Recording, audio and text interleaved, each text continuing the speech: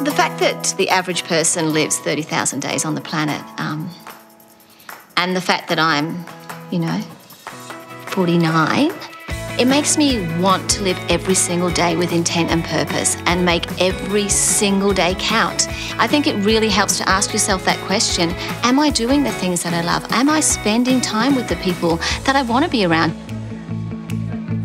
I do believe that how you spend your days is ultimately how you spend your life. So that's why each day is so important.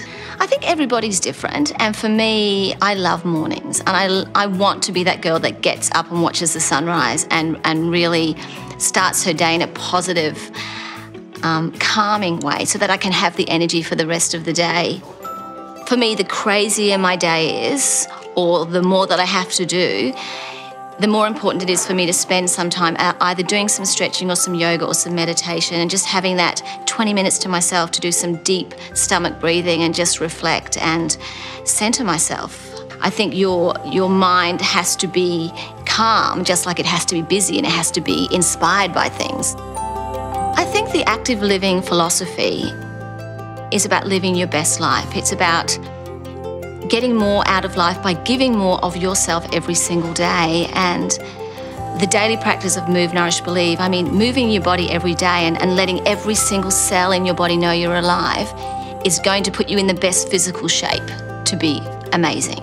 Nourishing your body with food that is going to help you accomplish great things and also doing the things that you love and surrounding yourself with amazing people is all about nourish if you practice that every day.